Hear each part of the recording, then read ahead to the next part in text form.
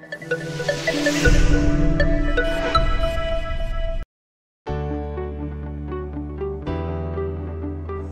everyone, this is Maha from Automate 2023. It's been a great show. This is the fourth day. We had a lot of visitors to our booth.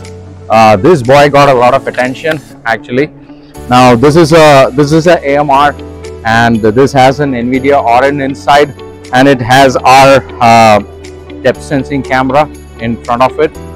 So this is this was running around the booth uh, the past two days and there were a lot of visitors uh, asking about how we integrated our cameras into this. It was a great experience. And then we had a demo where we showed a 360 degree bird eye view uh, of this vehicle. Now you can see this actually go back and forth um, and you can see it's a 360 degree view. Uh, your remote vehicle gets stuck somewhere and you want to drive it remotely. Uh, this will be a perfect solution.